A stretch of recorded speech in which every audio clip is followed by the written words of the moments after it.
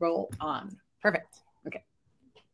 Hi, everybody. I'm Wendy Murdoch, and this is Webinars with Wendy. Um, we have a guest today, which is uh, Lisa. Uh, Lisa, say your last name for me so I get it right. Miksis. Miksis. That's what it. That's what it looks like. Yeah, it's a Miksis. And we met at the AAETT. Yes, more letters. The American Association of Equine Ther- Therapists and Technicians. Technicians um, in May and had such a great time um, yakking with each other. And Lisa's incredibly knowledgeable that I thought she'd be an excellent guest to talk about our topic today, which is what is PEMF. So thank you, Lisa, for joining me today. This is awesome. Yeah, no problem. Okay, so Lisa, just ever give everybody uh like your your bio background, um, sure. so know where you're coming from. Sure thing. So I have been with Respond Systems. We do uh, manufacture laser and PEMF. Um, I say PEMF, PEMF, PEMF therapy for um, actually since 1983. We've been manufacturing, and I've been with the company about 10 years. Um, I am currently um, president of the organization, so dabble in a little bit of everything, which I love.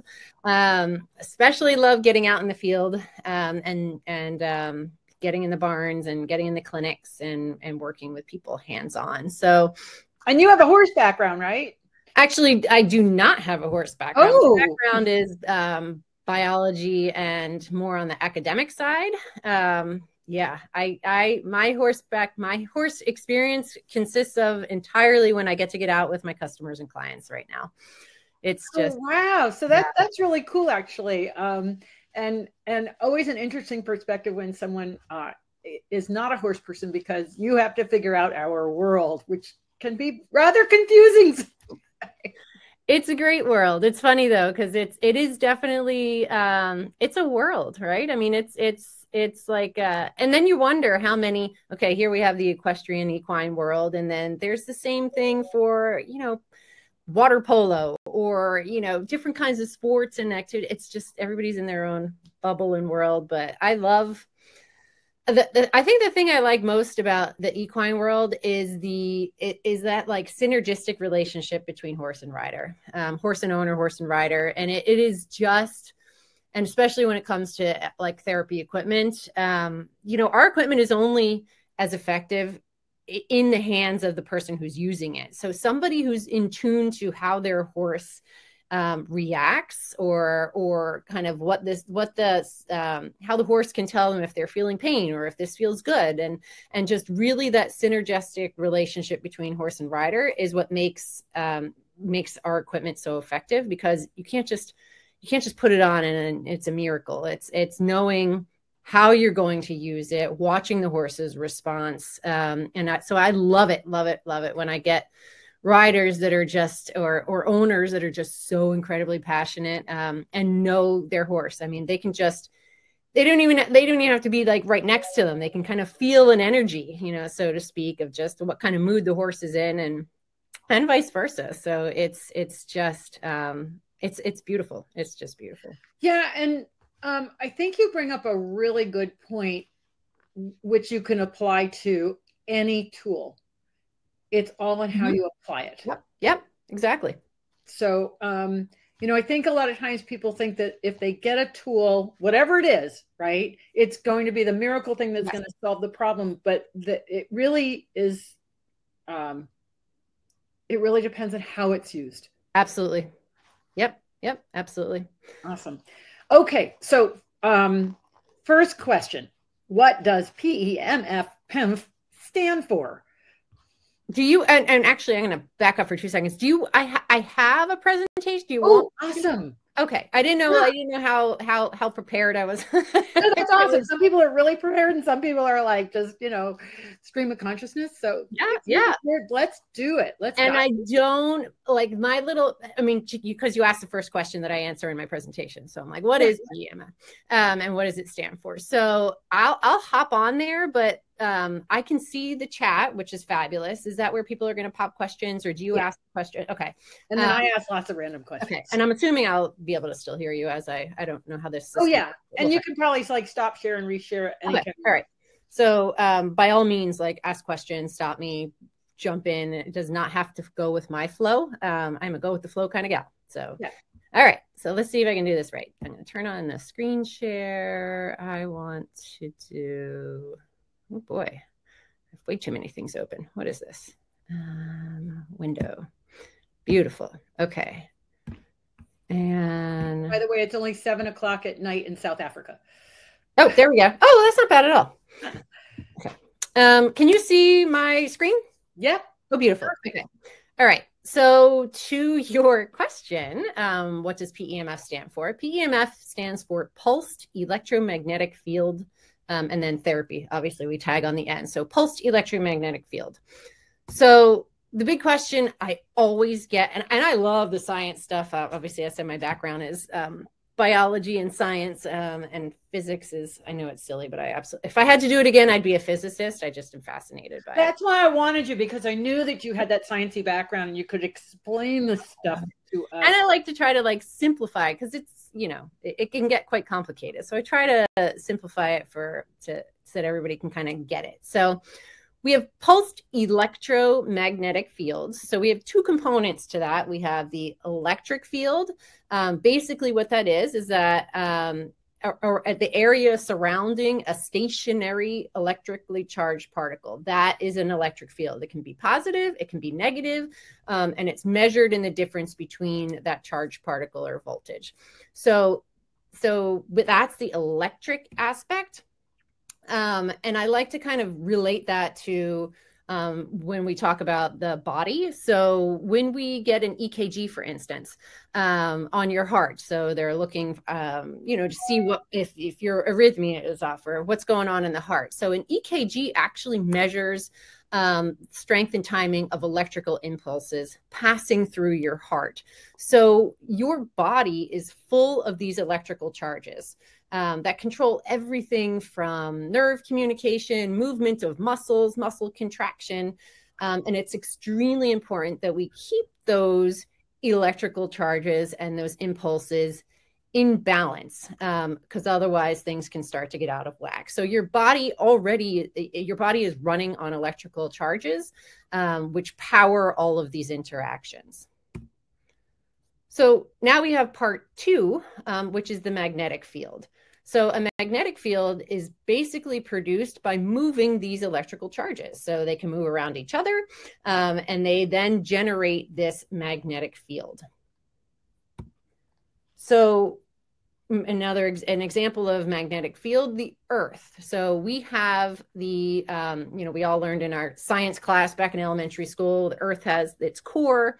Inside that core is um, iron molten. It's a hot hot iron. So iron as we all know is um, is a magnetic type it has electric charges. It's a magnetic type of um, of metal. So as the earth spins on its axis that uh, that core starts to spin so these electrically charged particles start to move and that generates an electric uh, pardon me generates the magnetic field um, the earth's magnetic field one of the huge things that that magnetic field does as you can see from the image um, here is that it um, protects us from the solar flares and solar wind that comes from the sun. So if the Earth did not have its magnetic field and its magnetic shield, we would not be here as we know it. So, so this, wow, this is like way more than this is so cool. So, because I'm learning about the Earth, which I didn't really understand this. So, so, so we have iron in the center of the Earth. Yep.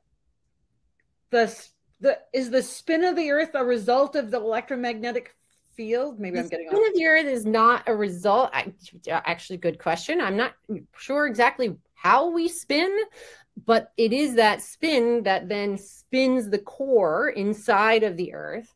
Um, and then because there's those electrically charged um, particles in there they start to move which then generates a magnetic field Wow. And so that magnetic field actually projects out far enough to protect oh, yeah. us from the solar winds? Absolutely. Absolutely. No magnetic field on the earth.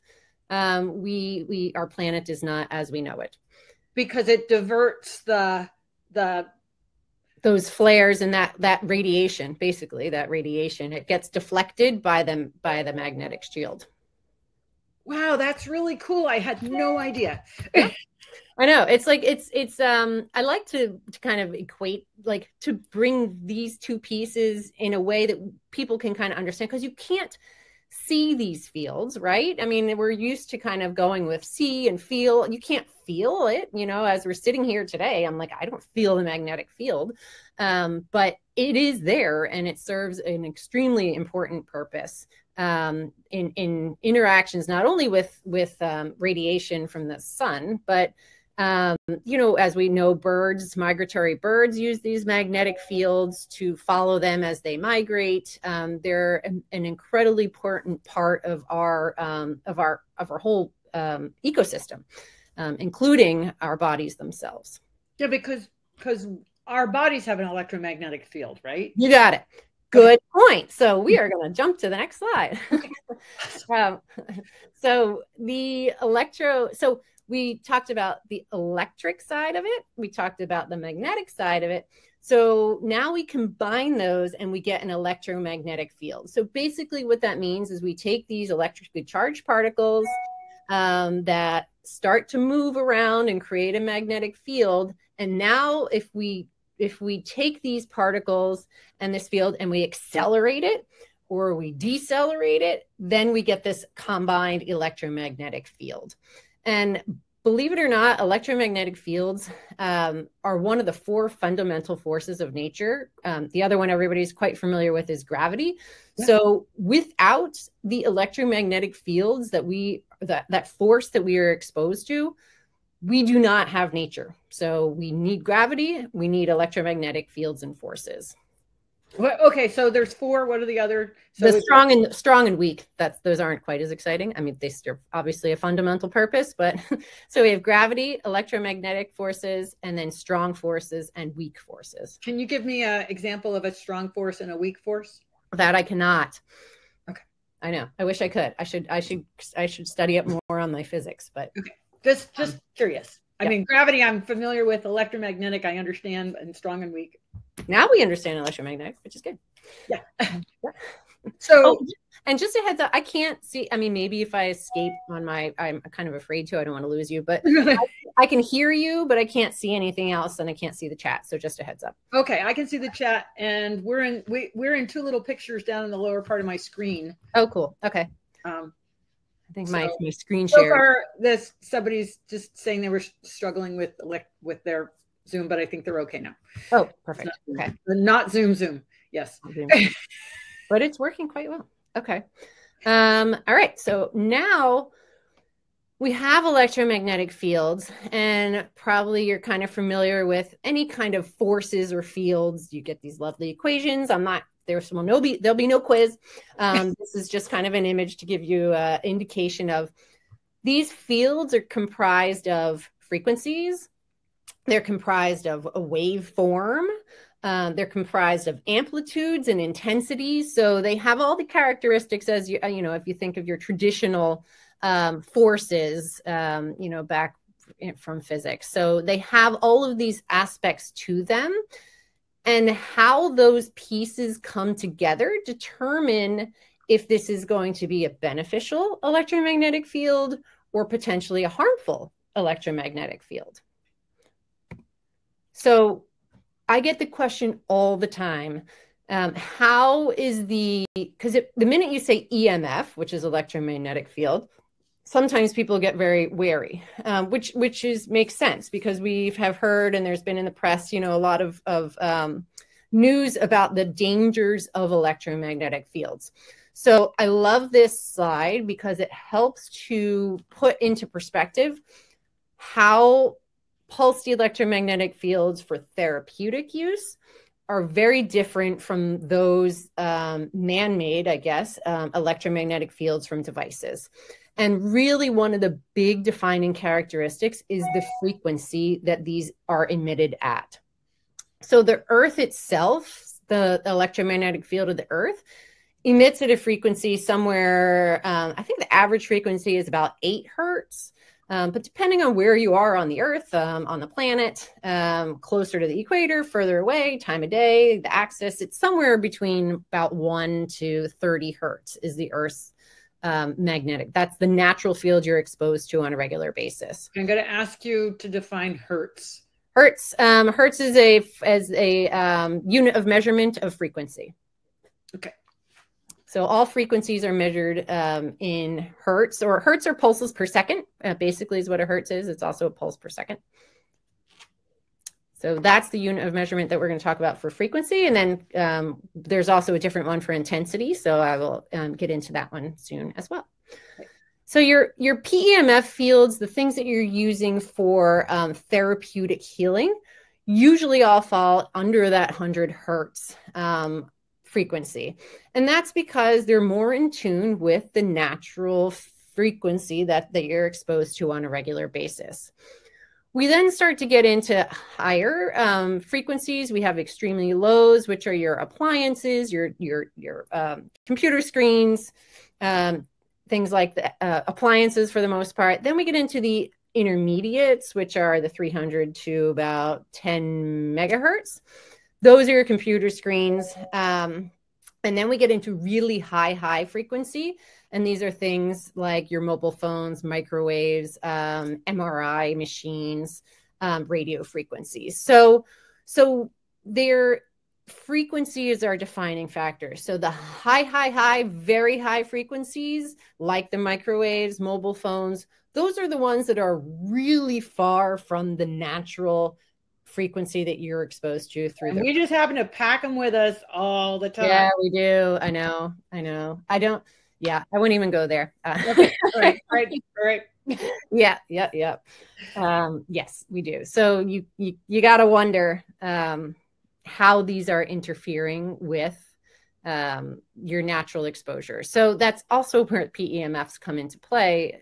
Um, so yeah, I'll, I'll, I'll, keep going because they kind of answer um, this point as well as we've got all these, we're exposed to all this stuff that we've created um, at these different frequencies um, compared to what we're naturally exposed to from the earth. Now, how do we combat that um, in a nutshell? So, so we've talked about frequency being a major part of these electromagnetic fields. I'm gonna, there are different waveforms, there are different amplitudes, but as it relates to this conversation, especially with with equine use, um, I want to just touch on intensity. So you have a wide variety of, of intensity of PEMF fields. So intensity, the measurement unit of measurement we use to define the intensity of an electromagnetic field um, is Gauss. It could be in Tesla or micro Tesla, milli Tesla. So Tesla and Gauss are sort of used um, interchangeably, kind of like uh, centimeters and inches. Um, you can pop into Google, um, you know, just a, a, um, a, a, conversion from Gauss to Tesla or milli Tesla to Gauss. Um, if you're kind of looking at different devices and want to see how they compare, um, you can you can just pop into a a converter into into Google to do that. So we have um, most of your blanket devices, um, wearable PEMF devices are going to be on that low intensity. Um, so, and when I say low intensity, you're probably going to be under, let's say, 100 Gauss. Um, and then we get into the higher intensity machines um, and those are going to be your um, like your pulse machines your magnawave machines um, those higher intensity PEM systems where you usually see the white coil um, those are going to be very high intensity systems. Um, so there the big difference on intensity um, two things. Number one is that intensity gets you depth of field. Um, so let's say we're on the very, very low end. If you've got a very, very low intensity, it may just be reaching the fascia. Um, it may just be giving you a nice fascial release because it's just not strong enough to get deeper into tissue. Um, and then you've got your mid range that probably, you know, on, on our blanket, for instance, you're going to get about 10 inches into the tissue. And then you get really high intensity machines um, that can really get through very deep into the tissue. Um, intent it, when you're when you're looking at different PEMF devices, um, I, I like to to kind of equate it to what your objective is. Every one of them the very, very low, the middles, and the highs all serve their purpose.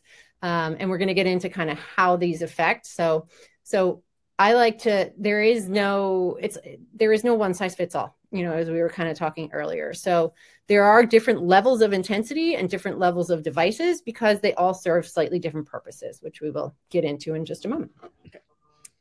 Um, whoops, decline. So, so basically, your cells in your body all have a magnetic field and they're all influenced by these things that are coming at you the earth's magnetic field the emfs that are coming from your phone your cell phone your computer um, all of these are impacting our cells and our bodies and what we want to do is to find the PEMF at the right intensity, the right frequency, the right application duration to positively influence the cell and all of the cell signaling processes. So I, I, like this slide because a lot of people are like, you know, some people have never heard of PEMF until they bump into it in the barn, or, you know, usually they're not seeing it on the human side, it's more so on the animal side. But PEMF has been around and studied for an extremely long time. Um, actually, I, we do laser therapy as well, um, much longer than laser therapy. Um, it was actually FDA approved back in the 70s for the treating um, and healing of non-union bone fractures and to stimulate bone growth. Um, and that was an FDA clearance back in the 1970s for a PEMF device. Um, and since then, we've had other approvals. Um, in the 90s, uh, we had muscle stimulation. In 04 and 06, we had cervical fusion. 06 is interesting with the um, treatment of depression and anxiety. Um, because you'll probably notice those who use kind of a low to mid level PEMF device um, for your horses that it makes them very relaxed. Um, and we get the question all the time. We designed our devices and most PEMF um, for equine have designed their devices for soft tissue healing um, to impact the, the healing or inflammation or pain in soft tissue. So the depression and anxiety effect i'm not and we are not on our end at least 100% sure if that if the if the relaxation you're seeing in your horse is coming from that that feeling of ah after that inflammation comes out and the pain is reduced or if it's actually impacting signals in the brain cell signaling as we talked about all these all your cells talk to each other through little electrical com- communications. So we could be directly impacting those electrical communications in the brain itself um, to help address depression and anxiety. Um, more studies need to be happening on that, um, but different frequencies of devices um, are approved for different types of uses.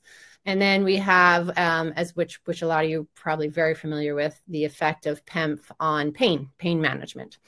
So it is a studied modality, a very studied modality. There are thousands of research papers on PubMed and online about PEMF.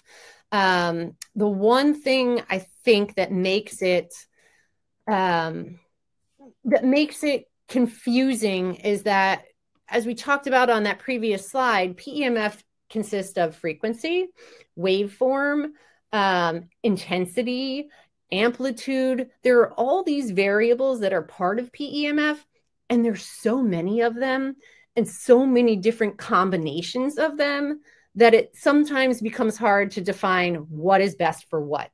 Um, so that's where uh, you know uh, more studies to come. There's a lot of I think promising research about PEMF to come as we really start to narrow down very specific frequencies for very specific conditions. Um, there's just so many different combinations of all these that it's going to take us a long time to get there. So basically, if we can recap, um, electromagnetic fields have existed for ever. Forever. Um, we've discovered that we can use electromagnetic fields. Mm-hmm um they've been used for a lot like i like i'm just thinking about you know like just regular magnets that's an electromagnetic field yes. That's a magnetic. Field. Yes, yes, and you and magnets have been used um, for for centuries uh, for healing. Like you know, back into Roman Roman and Greek times, you'll you'll see um, incidences of magnets used for healing. The one, the big difference between a PEMF field and a static magnet field is going to be your depth of penetration. Um, it is the the pulsed electromagnetic field drives the field deeper into the tissue um, than a static magnet. So statics are going to be, you, you, usually notice them more um, on trigger points, you know, something where they can have more of, they, they're not going to penetrate too much, too deep into the tissue. But um, essentially um, we're looking at a, um, a similar idea. It's just a question of that this can, can penetrate more, but it's, but we've been doing this for a long time, messing around with electromagnetic fields. Oh yeah. Very long time. Yes. Okay. Yes. And so obviously these studies would have been in humans and yes. we were messing yep. around with animals humans okay. um, to get the fda clearance you need to have them in humans for obviously so um, yes so the, the nice thing about seeing this depth of history as well is it really establishes the modality as a safe modality um, that it's been approved since the you know 1979s for treatment on people. So it is a very safe modality um, with very limited side effects, if any.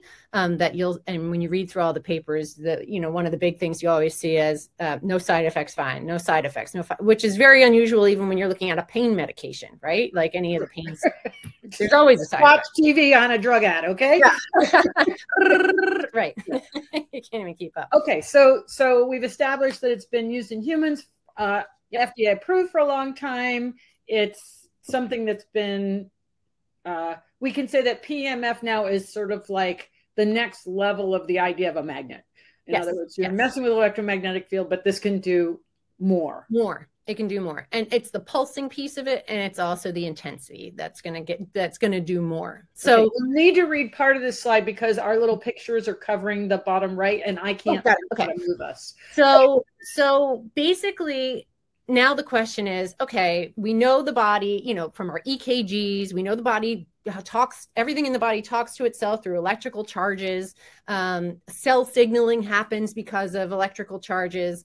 Um, you think about um, back to your you know biology 101 in high school you have these little pumps in your cell membrane and the positive and the negative they want to go in one direction or the other because of how they're attracted. So we know the body is full of positive and negative charges um, and everything talks to each other that way.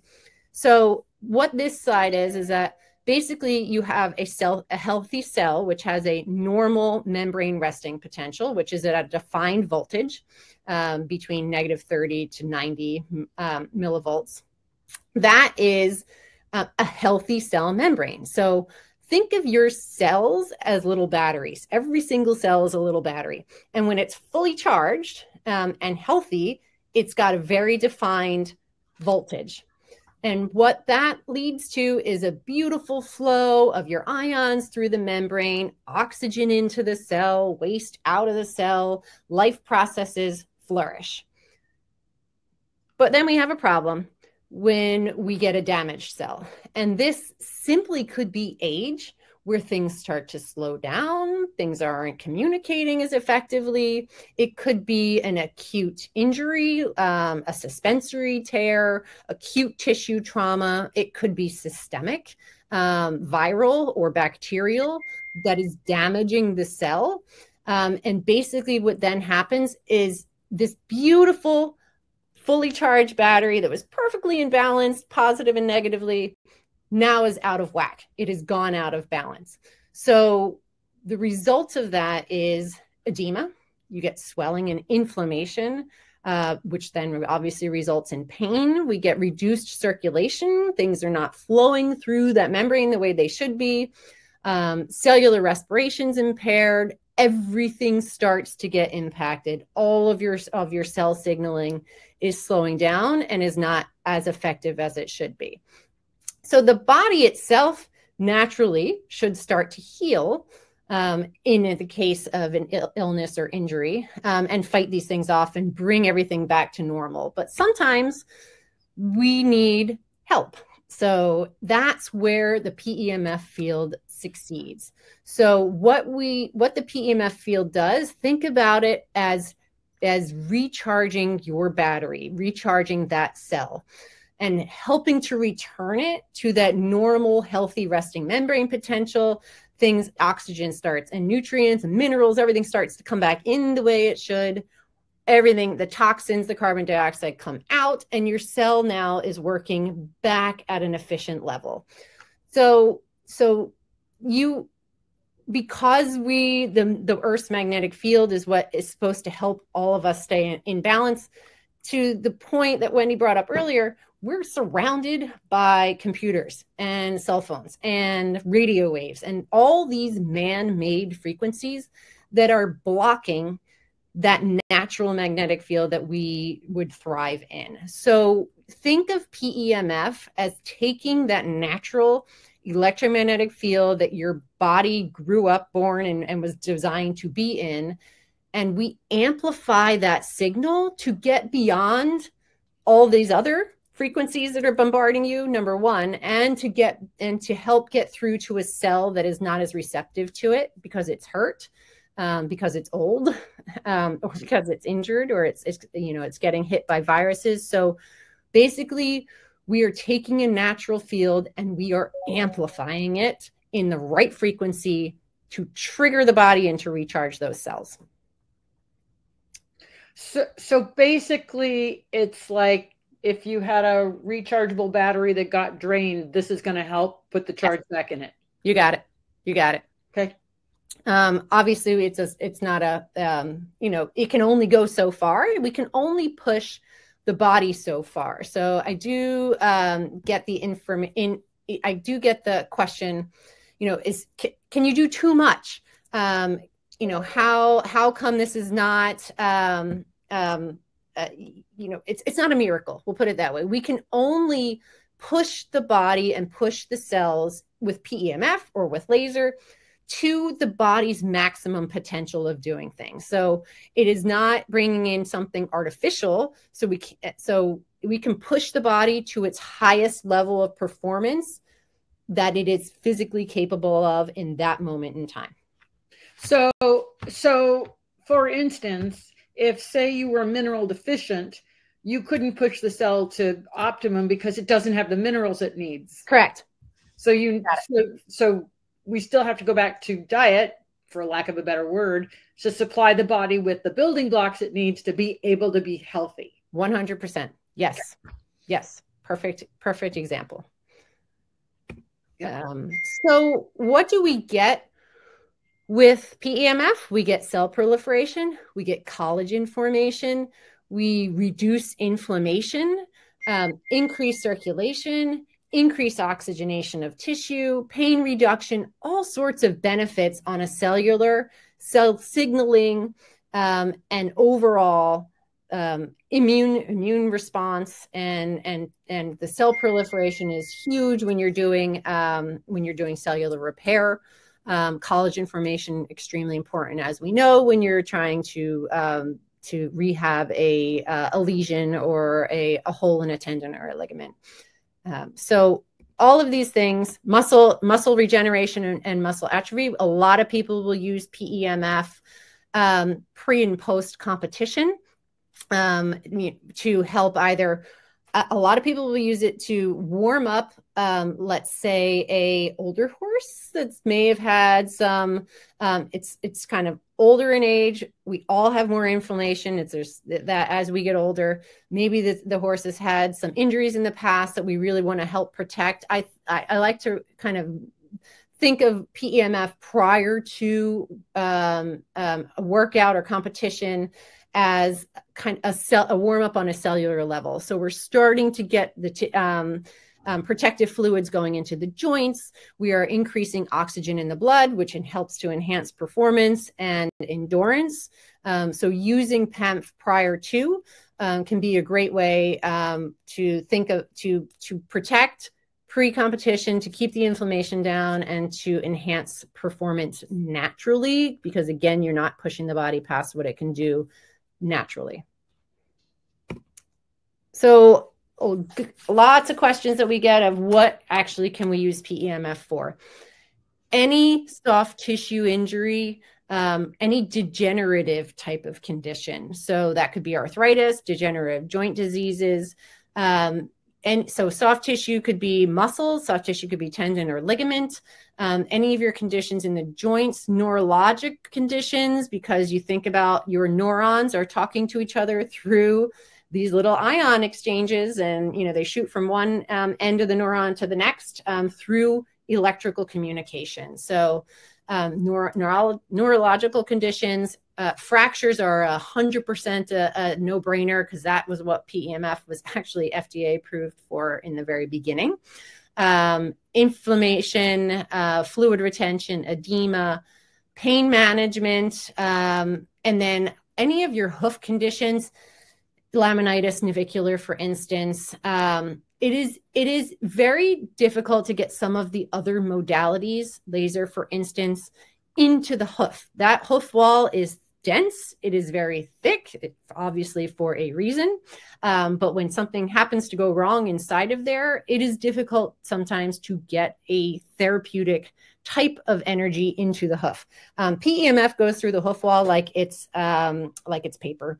It just it that does not impact it. So PEMF is a great option for any of your conditions in the hoof. Um, contraindications. So so pregnancy is one. We have there have been no studies. Um, there we just you know we don't want to um, impact the the natural growth process. So pregnancy is one.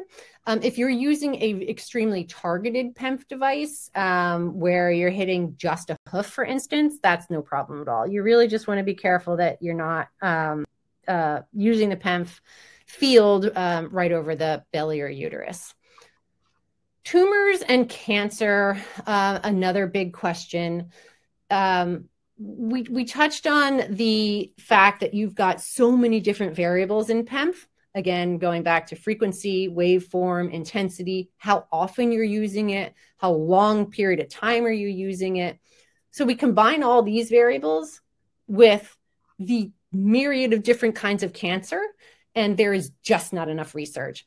Um, there's interesting research coming out um, looking at PEMF as a benefit um, to help either um, counteract the um, unfortunate uh, effects of chemotherapy, the side effects of chemotherapy, um, and to to to even potentially combat the cancer itself but there is not enough research because there are so many variations and variables, and the research just hasn't been done. So we err on the side of caution um, when it comes to tumors and cancer and say do not use the PEMF um, in conjunction with that. Unless, um, you know, on our canine side, we have canine PEMF beds, and some of the dogs um, who are older find such benefit in quality of life from using the PEMF that they opt with the, cons- cons- the cons- consulting with their veterinarian to continue to use PEMF, um, you know, accepting that that there is kind of an unknown as it relates to cancer. So I do have a lot of. Think in the dog's case too, it's their choice to get on the bed. Oh yeah, yeah, yeah, yeah. You'll you'll see the dogs. Sometimes all all you have to do is they have to see the blinking light and they kind of flock right to the bed. So um, you you should know. Well, well, we'll touch on that in just a minute about you know which device um, kind of is best for what um, but one more contraindication because PEMF is is um, approved for healing of bone fractures. We know that it is very good with healing of bone and bone formation. So we don't really want to, just like with pregnancy, interfere with the natural process of a young animal whose growth plates are not yet fully formed.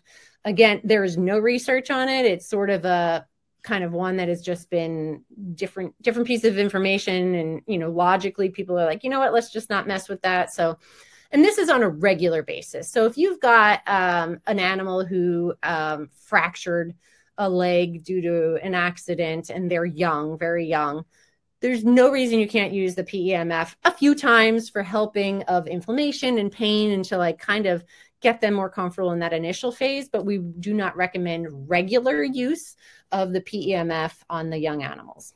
that that would also kind of apply to if you have a fracture, don't use it until the fracture is set because you might not want it to start healing where it is. Oh yes, yes, yes, yes, that would. You're not. Yes, we, we would like it to get put in place first, and then we can help seal that that um that crack, basically. Um. So, oh, I just have a, some studies coming up, but before I so before I get into those, um maybe i'll just jump back to so so it's a good break. So somebody's asking if you could use it with melanomas or insulin resistance or cushing's. Uh, good question. I had cushing's question just the other day. Um, cushing's is a is a pituitary. It's a hormonal issue um, so so PEMF obviously focuses on cell signaling. So our, my recommendation to the person who just who asked about Cushing is to consult with your veterinarian um, prior to using the PEMF device. Technically, there should be we do not have a contraindication listed for any type of hormonal um, conditions, but obviously you'd want to be um, followed and, and in consultation with your veterinarian if you're going to be introducing, um, you know, a new therapy to to a Cushing's um, patient, basically. And so with like uh, melanoma, since that's a tumor, you would also want to be super careful. tumor. Yeah, the tumor we would we would that is a, a listed contraindication. So um, we would not want to use the PEMF directly over that particular tumor um, but you can use it on other parts of the body uh, if it's a targeted PEMF device. Yeah, the problem with gray horses that have melanomas is you don't know where all the tumors are. Yeah, yeah. Um, so when you say very young, like yep. in, uh, what's what's your definition of? Yeah, so that yeah, so so that's one um, you know that that we hear all the time. So so like on the canine side, for instance, if you're going to have a dog that's doing agility, they don't start running them until their growth plates have closed because of the potential issues that have been found of um, the arthritis and of of pushing an animal too soon with too much impact before their bones and their growth plates are fully formed and closed. Um, the, the, resulting effect could be early onset arthritis um, and, and other types of, of chronic degenerative types of issues because the, it did not form well to begin with. Um, so then we get to horses where you've got your, you know, you have two to four year olds racing um, they are they are they are not necessarily um, fully fully matured um, at that point, yet they're they're we're putting that much impact on their joints. So yeah, you sort of get stuck in this. Technically, they shouldn't be running that hard at that age. Like it doesn't it doesn't make sense. It's too young to run with that much impact and that much intensity when they're they are not fully formed with with their bones and their joints and their growth plates as of yet. But but if we are doing that, then having a device that can help keep that inflammation down and in check, if they are working that intense level at that age, then it helps offset, I guess we'll put it that way. So it, it's a hard that that's a hard one when you come when you when you come to horses. Um, I think I would balance the whether or not to use PEMF on how much you're training um, that particular horse at that age at that time. And you can also check for whether or not the growth plates are closed. Mm-hmm. So you know, I absolutely that goes back to you. You need to like know your horse, work with your vet, check your horse. Yes. Make yes. a decision. You know that's balance. All good horse and good horsemen um, do that, and women, horsemen and women. Yes, yes, which is yeah.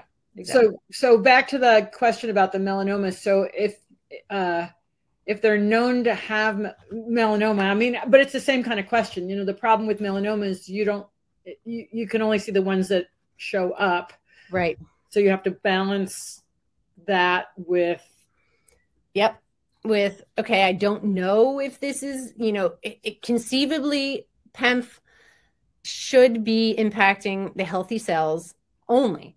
Um, but we don't have enough research to know if one of the one of the benefits of PEMF is that um, cell proliferation. The last thing we want to do is proliferate a melanoma.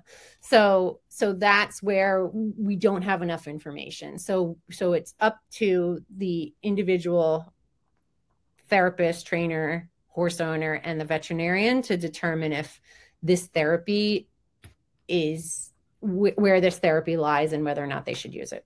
Right. with with that type of condition. And someone's asking if that's the same with sarcoids. And I, I think again you have to look at where it is, what part of the body you want to treat. Yes. And that would that would then make help you with decisions about what kind of PEMF device to use if you were going to do a targeted versus a whole yes, body, exactly. Exactly. So to that point, um, that's where um, you have a myriad of, of different types of PEMF devices out there.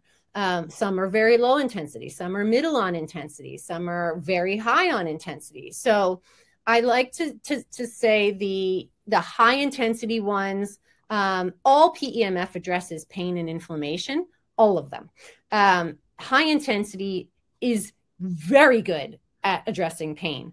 Uh, it, it's it releases intense amount of endorphins um, and can block pain. So the high intensity devices should be used in the hands of a skilled therapist. The you are using energy. Um, you when used the wrong high intensity when used the wrong way um, can can be un, very uncomfortable I guess um, you, you know like you wouldn't use high intensity PEMF on an EPM horse. Um, so you really need to find your which device is best for that particular condition. Um, high intensity, I sometimes equate to something like a shockwave. It can be really beneficial um, when trying to um, jumpstart a healing. Like, let's say you've got a suspensory that just hasn't gotten where it needs to go. Um, and it's not filling in and you're just not getting that. So high you can give it a great high intensity PEMF treatment or a shockwave treatment to really jumpstart it. That uh, that high energy is going to to really get through to those cells. Um, so high intensity can, can be great on conditions like that. Um, degenerative types of conditions where you really need to jumpstart um, and get through to something I, I kind of can call them like cold conditions or like any kind of degenerative condition, those cells are really unreceptive. So sometimes they need that high energy, that high intensity to actually get through and start a process going. Um, and those device, you know, high intensity, you can be very, you can be very targeted with those. Um, you can also be very targeted with a lower intensity device. There are some um, very low intensity loops out there. Um, but because of that intensity, um, you're going to get very little penetration. So if you're trying to treat deep into a particular area on a horse, a low intensity loop probably isn't going to be your best option, even though it is targeted to that area. It's just not going to get deep enough. Um, so that's where a higher intensity targeted um, device could be beneficial. And then you get um, like the mid-level types of devices. So um, where you're getting a pretty good depth of penetration it's not as high as energy. Um, and what those are really good for are your um, prehab i call it or preventative and maintenance because they are um, very like low enough in intensity that you can use them on a regular basis. So a lot of people will use that mid-level um, for uh, prevention and maintenance um, as well as for addressing the continued healing process of some uh, of an acute condition, for instance. So let's say you've got um, a suspensory um, lesion, for instance, and you have maybe given it a few high intensity shockwave treatments. You can't, or, or high intensity PEMF treatments. You can't keep doing that on a daily basis. Um, it's just too much energy. You got to give the cells time to now use that energy and carry it forward. And that's where a mid to low level intensity PEMF can be very beneficial is to take what you've started with maybe a high intensity and now sustain that continued stimulation over a longer time. Because as we all know, tissue doesn't repair itself overnight, um, especially bugger type of dense tissue like a tendon or ligament. You don't uh, even have a chart that kind of talks about the intensity and the depth that yeah yeah i should yeah yep yep i should that's a good idea i could do that for the next one i mean it's a lot of information um so let me see if i can figure this out um Oh, high intensity is going to penetrate deeper. Yes. But you wouldn't use it as frequently. Correct. Because you have to give the cells chance to heal. Correct. Mid range, you can use kind of more frequently. As nudging, you're you're nudging these cells more consistently to continue through that healing process. So you might go through the acute phase, and then you go through you have heat, and then you go through the middle phase, which is more repair, and then we got scar tissue that formed a little, and now we want to get rid of that. So think of middle kind of as a daily or multiple day a week nudge for those cells to continue what you want them to do. And then low intensity is going to be more surface. So if you had a tendon, you could use a low intensity because it's targeted to an area that's close to the surface. Yes, exactly. Exactly. Okay. Or so, you have a smaller, yeah, a smaller so animal. We've got intensity, but then we have to talk about frequency. Correct. Yes. So frequency, not just in frequency of treatments, treatments, but frequency of yeah. Actually, I'm gonna pop out of here because intensity and frequency are not the same thing, right? Correct. Correct. Intensity and frequency are not the same. So frequency, um, you think of as pulses per second. So you have some devices that allow you to alter your pulse frequency, um, and some devices it's set. So that is something to look at when you're looking at different options of PEMF. Um, can you turn up or down the intensity? And a lot of your high high intensity machines, you can. You can all you can turn that dial down if you need to and make it a lower level targeted device. Um, and then you've got some devices where you this is it one size fits all one intensity one frequency and then you have others where you have um, the option to alter um, frequency or intensity so all things you can look at because not not every horse is the same not every condition is the same. It's nice to have a device that provides you with options to tweak here or there based on the response that you're seeing. But that can get um, you know for someone who is just starting into PEMF all those options can get really overwhelming really fast. oh yeah. Yep yep. Right? So you want to focus on what is your main objective in this moment? Um, because some people just have an injury they need to heal like that's where they're going. Um, so so look at and they only have one horse one injury this is what i want to do. Um, others have a whole barn full of you know 10 different horses with 10 different personalities and issues going on. And um, so so kind of looking at your needs uh, doing a needs analysis. And the, another piece of that is um, you know cost is obviously a huge factor. What what can you afford? Um, maybe the an, a nice option is to uh, when you need your high intensity treatments because those are the more expensive machines um, maybe you get a practitioner in your area an educated you know trained practitioner to come do those treatments.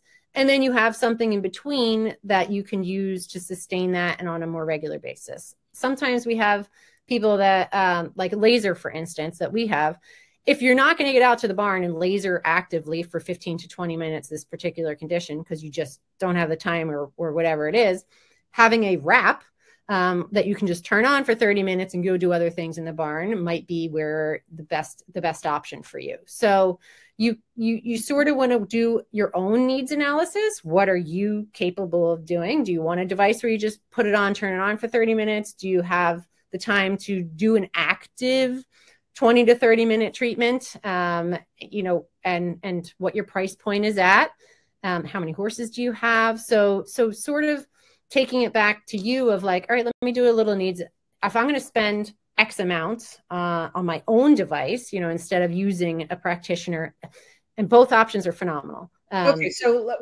let's just first say that there's the first category is do it yourself or hire someone to do it. Yes. Okay. Yes. So when yes. you're hiring someone to do it, you're assuming that they are trained in their technology. They yes. can make the decisions of frequency and intensity. Yes. And then it's sad that frequency is also frequency of treatment, but number of treatments. yeah. Number. Okay. So they can make that decision. And it may be if you're trying to, to um, deal with, uh, say, a particular injury, it's better to have someone who is knowledgeable and trained so they can make the appropriate de- educated decisions to treat your horse. Yes. Okay. Should that not be available, or that you have multiple horses and you you want to have a device that you can use when you want to use it, then we have to look at cost. Yep. Purpose. Yes. What do you want to use it for. Okay. And education. Absolutely. Because you can, I mean, like when we were at AATT, there were a couple of different units there, mm-hmm. and the prices were all over. Yes. And one of them, which was really interesting to look at, somebody said, The thing is so heavy, I need two people to put it on the horse. Yes. Right. Whereas others are lightweight and easy to do. So we have to consider ease of use. Yes. Yes. Okay. All of those, all those variables, all those, how it re- relates to you and then to your horse or horses and just take the time to do an uh, you know a needs analysis basically and and what you're capable of with budget and um, you know everything that's going on in, in your world and the horse's world to find a device that will be best to fit your needs. Right. And so um, there are some devices where it's like uh, for lack of a better word small medium large in right. terms of the settings. Yes. Okay I assume there are other devices where you can dial in a lot more things. Mm-hmm. So if you're a techie person, which unfortunately I know a lot of horse people are not techie people, like I can, anyway, um, reducing the number of choices is perhaps a good idea, but you have to realize that by reducing the number of choices, you may not, it may not be quite getting what you want done because we've made it chocolate, strawberry, and vanilla. Right, right. But the downs, the upside of that is you got three choices. This is it. On the other hand, having more ability to vary. So if you're sort of a more techie person and you like to be able to dial things in, I, am I guess what I'm thinking of, I got a competition bar and I got a groom. Right. She's going to be doing every single horse. Yes she's going to figure out what every horse needs. I don't have to worry about it. They're all going to get the treatment they need. I'm good. Yep. Versus I'm, you know, like struggling with Google and I can barely use my cell phone, having something really simple. Simple. Yes. Yes. Okay. Yep. And all of those exist. You've got within the PEMF world, especially when it comes to horses, because that's where it really, st- I mean, aside from the FDA approvals, you know, it really equine is where it really started to flourish and come through. So you have a lot of options, a lot of choices. So, um, you know, do do if you're going to spend that if you're going to spend money. Give us uh, a rough idea on price range on the blankets. What is what is the most blankets that you see the ones that I know of that you're going to range um, probably the sweet spots around 5,000. I don't think you're going to get anything under four these days um, for a blanket, and they can range, I'd say, probably four to six or seven thousand. Okay, so that's a pretty hefty investment uh, for a blanket. Um, but then there's wraps, loops, wraps, loop, exactly. Wraps, loops, wraps, loops, and blankets are what you pretty much have right now. Okay. Um, and then actually, I'm, I'm going to pop on. I see some people um, had asked questions too. Yeah. So, um, um, I'm going to just go from that. I'm trying down. to get through. Uh, mm-hmm. so somebody's asking about wraps, blankets attached to wall versus electrical. Both. You're going to get oh, most of your wraps and blankets um, do not attach to the wall uh, your higher intensity, which need more energy to because they're giving out more energy, they need more energy coming in. Most of your high intensities will be um, will attach to an electrical outlet, but your wraps and blankets, um, 90% of all of them that I know of run on a battery pack. So we're looking at coils and things if they're high intensity um, uh, plug into the wall things. High intensity, you're going to plug into the wall um, blankets, all the blankets that I know of are battery operated. And average cost on a high intensity plug into the wall style unit? That I'm not 100% sure. I know, I think you're looking north of 10,000. Um, wow. So big investment. So if somebody's a therapist and they come to you and they have one of these, they have put some time. Oh yeah, yeah. and they and and they it's a it's a pricier device. Um, it sh- and you should be the the it should be used in the hands of somebody to to Wendy to your point that that knows what they're doing with it. So it's it's it's nice to have a practitioner in that case that is trained, a physiotherapist, a therapist, a vet in your neck of the woods um, who uses those higher intensity because it's they know how much what intensity to dial it up to, um, and and you know it's very nice to have that expertise uh, with that machine. Okay. Um, let's see. I think so. We covered that. Um, so stacking PEMF. I see we right. have one about stacking PEMF with red light or laser. No problem at all. Um, they work through two totally different biochemical mechanisms um, within the body. I have um, with the blanket, it's not as easy, but our um, canine who lay on a bed and are exposed to the field, I have practitioners who do their laser while the dog is on the PEMF bed. So literally concurrently, right. um, no contraindication at all. Um, um, and Surefoot, you can have the horses on Surefoot pads and do. Oh yeah, yep, absolutely. Um, let's see. How does somebody's asking about a blanket comparing to a device such as a Healy? I am not familiar with a Healy. Okay. Um, probably a plug-in device, Kathy. You can let us know. Um, we're still asking about gray horses and PEMF. I think it's basically talk you know, to it's it's a decision between you. Yeah, it's um yeah, we just it is just not uh, it is a contraindication because there's just not enough research. So we would say consult with your veterinarian. Um, there i mean technically there could be zero impact with the cancer but we do not know and cannot say that confidently. Um, and that's that's all we can say with the gray horses. Right.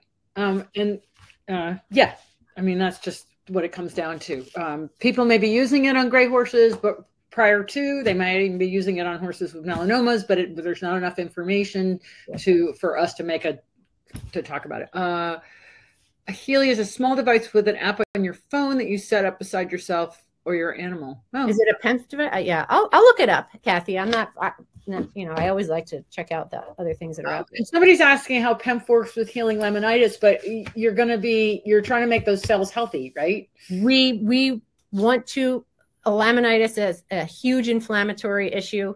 Um, so we want to address that inflammation, and that's where the PEMF um, when it cut we can't say nobody we can't say because we are not a fda approved our device is not fda approved i can't say it heals laminitis. I can't say that it heals any any particular condition. What i can say is that it will address the inflammation um, related to laminitis. Um, and once we start addressing that inflammation the cell and recharging the cell then we get the oxygenation and and and cell proliferation in a healthy way. And that's it, it, with laminitis it's inflammation. We want to get that inflammation down to see if we can then and and to, to wendy's point before too it is not a panacea not you know laser's not PEMF is not. You also want to be working closely with your farrier you know and making sure that our shoes are correct um, and and altering things in combination with each other. So the well, pen, yeah. yeah, and with laminitis, you have to look at you have to get rid of the cause. If you have a metabolic horse, reducing yes. inflammation in the foot is not going to solve the problem because you haven't fixed the problem. The feet, your, your feet is off. Right, exactly. Right. So yeah. I think that that with with any disease, I think the biggest thing is um, source. From, we need to find the source. Right, and that's what I'm hearing from you. PEMF can help. PEMF PEMF can help with inflammation. It can help the cells get in balance. But if you don't remove the problem, um, if your problem is inflammation, then we're going to address the problem. But why are we inflamed? Is it because we overused it? Um, is it because there's an injury? Is it because, to Wendy's point, it's metabolic? We changed our feed. We're eating different, or is it environmental? Do I have EPM? Um, do I have disease? Yeah, yeah, yeah. So, what is our source? And and and sometimes it's just um, age, right? It's just mobility and age, and and and you know, in that case, you're talking about inflammation, and that's where um, you know you're not, you're not addressing a specific condition. We're just getting old, um, so we we just want to try to give ourselves and our bodies a better chance by making them in tip top shape um, in that particular. So I know there's a lot of um, uh, conversation about how PEMF increases oxygenation. Mm-hmm. Um, is that because we're impacting the this how does that happen is that so you think about kind of that cell membrane picture that i had mm-hmm. um, when w- what we're going to do is we're going to normalize that membrane so oxygen can flow into the cell and we also increase circulation in general so think about um, uh, what is what is one main um, aspect of blood is iron we all know that iron is carried in the blood right so iron um, just like in the core of the earth um, Oh, duh. Yeah, we're going back. Woo. So the PEMF actually can speak to that iron in the blood cell itself to help um, trigger movement. The pulsing aspect, that's where PEMF differs from your static magnets. The pulsing aspect of the PEMF helps to push um, the, the iron, helps to push those ions um, which then you know oxygen is carried on the blood you know so sure. that's the way sure. we get circulation increase in oxygenation. Okay that that makes this is the first time i've actually understood that. Oh good. Basically we're basically we have iron in our blood it's electromagnetic. And we're pushing it. Yeah. It, yeah it just kind of moves it along. Okay exactly. got it. Thank you that's really helpful. Um you know because it's easy to get overwhelmed with information in this subject. Absolutely. And choices. So if someone, and maybe I, this is a simple, if someone wanted to, uh, dabble isn't the right word, to look into PEMF, but look into it in a, in a exploratory way, would mm-hmm. it, would it make sense to get a less expensive item and try it on them themselves like if they had a, a, a you know, like bang their wrist or something like that. Right. So, yeah, yeah, we get the question all the time. Can I use your device on? So I say basically it works. It's it is FDA approved for use on humans. Um, our specific device is not because that costs a lot of money, and then it would be we, we're not using it for people, so that price point would get translated down to our customers, and that's there's no point. Um, so we cannot say we cannot market it to people but it has the exact same effect um, on a human cell as it does on an equine cell. Um, so we just say from a treatment perspective, um, yeah, you you you should consult with your physician prior to starting any new therapies. I understand that caveat. Um, and so that might be something where um, somebody who's really curious about it, they could get a less expensive loop. Mm-hmm. Um, play with it themselves. A lot of a lot of a lot of companies will do rentals. Mm-hmm. Oh, that's a great option. Rentals, so you can rent it for um, you know a, a 90 day period and trial it with no obligation. Oh wow! Oh, so there's probably a lot of companies that actually. Oh, sure. Yeah. Okay, that's a great option because you know again it's it's a big investment, and if you're not using it well, uh, and you're uh, not using it, if it just sits on the shelf, it's not going to work. Yeah, exactly, exactly. I have one doing just that. Yeah. yeah. Yeah. Wow. So, okay, I have one last question for you. I don't know if anybody else has a question. You brought up um, um, shockwave. Mm-hmm. Is shockwave electromagnetic? Sound. So, shockwave is using sound waves okay. as opposed to um, electromagnetic waves. Okay. So just like laser uses um, light waves, photon. Um, so you're they're they're they're all waves. One is electromagnetic, one is uh, light, and another is um, and light is a ty- type of electromagnetism, but different than an EMF. Um, but shockwave, you're using sound waves. Got it. Um, that question on sarcoids came up again. I think the answer is don't use the the PEMF on the sarcoid. Correct. But you could use it on other places on the horse. Correct. Correct. Yep. Um, and if someone's asking where to learn to become a practitioner, I think you'd have to just kind of figure out what unit you were interested in mm-hmm. and then explore their options because there's different different manufacturers have different options yeah that. and and um uh, I was the name on that one's funny. And to me, um, actually that's part of what the the AAETT um, organization is really working towards establishing some standards with practice like where to go for places like to, to that exact question. Um, because there isn't there isn't like a, a, a, certification school right now that you can go to for these. So the aaett organization really is working towards putting that type of um, resource together as well yeah so if you haven't heard of the aaett please go to their website um, i'll just pop it in the chat it's aaett.org um, they're working really hard to start coming up with uh, national standards and um, for therapists and technicians and working with vets. And so we have standardized mm-hmm. um, uh, resources. Resources. And also, like, because we're heading into this vet crisis, that we can actually help out with that crisis that's yeah. just barreling down on us. Um, Awesome. Lisa, is there anything else you want to tell us about? Uh, this has been really informative and really helpful. Good, good. Um, yep. Somebody did put up what I will just read it so it's uh, it's on the recording.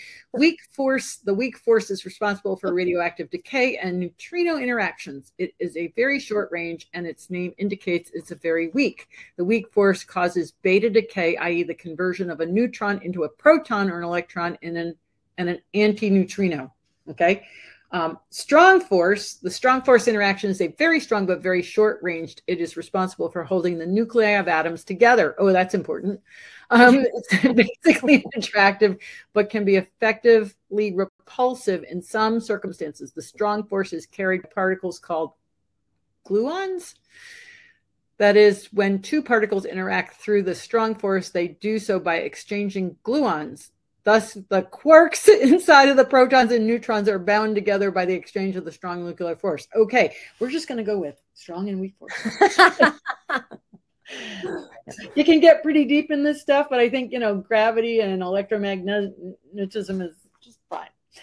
Um, this has been awesome. I want to thank you so much because this has really helped clarify Good. what it is and why we might want to use it. And um, it's just important. I think the bottom line message is you have to figure out what you're wanting to treat. You got to yes. check out what's in that range, what's going to work best for you. Consult with your vet if it's any question, right. and um, uh, watch your frequency, intensity, and and duration. And we didn't talk about duration. Yeah, yeah. and I did see a question in there. Somebody asked how often um, should I be treating? So um, you so it depends on the device um, and what your objective is. So we for for our level of intensity that we're, we're kind of that mid range um, we recommend um, starting off with three to five days a week to start because it's like um, pushing a snowball down a mountain. If you push something once you're going to get an effect. It's going to move um, but it'll stop pretty quickly.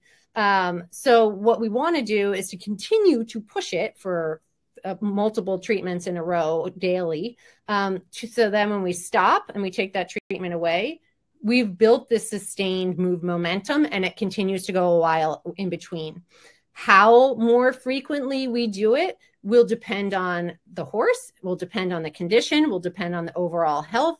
Um, you may hit a maintenance phase with a arthritic type of condition of two days a week um, for something acute because it's repairing and moving so quickly to continue to hit daily until you hit sort of that slow down and we're pretty much healed phase um, can be beneficial with something with a higher intensity. Um, that one i'm not as familiar with but i think those packages are probably like maybe a two or three package or three to five session, maybe a couple weeks apart for higher, but it depends on what you're using it for. Because a lot of the high intensity devices, you can turn them down and maybe use them weekly for for a maintenance type of uh, condition. So it, it really depends on the intensity of your machine, um, how often you're treating, as well as the condition itself. How often. You know, I, I think the one thing that uh, we may not have talked about is how long is a session? How That's good question. Um, they're going to range um, anywhere from 15 to 30 minutes for one of your low to mid intensity um, systems where you can put them on the horse and sort of walk away. Um, I know the 15 minute ones are supposed to be used multiple times a day. Um, so you get maybe a 45 minute to hour session uh, broken out into 15 minute sessions. Ours is a 30 minute, and then your high intensity is going to depend on what you're treating. Uh, it could be a two minute session, um, you know, if you're just hitting a small spot, um, or it could be, you know, a, a, half an hour body work type of session. So uh, it's going to vary based on your device. Is there any value, and I'm asking this because this is for my, um, is there any value in like you do a 30 minute and then you do it again? Is there any value? Oh, yep. So you, so going back to, you can only push the cell so far.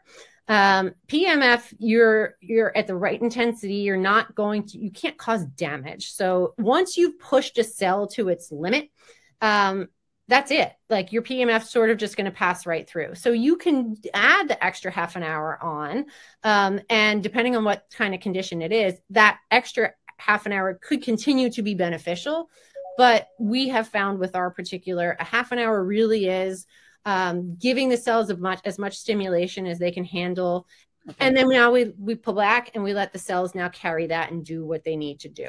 Um, so the extra half an hour may not push them more than another 10% farther. So yeah, uh, and I I have to admit I'm guilty of going, well, let's just do it 3 times in a row. this feels good. Just keep pushing the button. Right.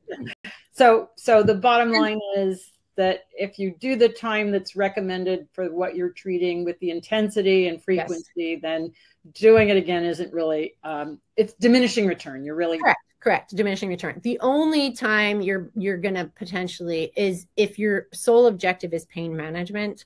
Um, that's when maybe using it four times a day because it's going to have an immediate pain relief um, effect and if your sole objective is pain management right now then then you can use it more than you would be for um, a healing type of condition you know we're managing inflammation okay wow uh, this this has been great i am so thankful that you have made the time to talk to us because i, I think you have answered probably like 90% of the questions Good.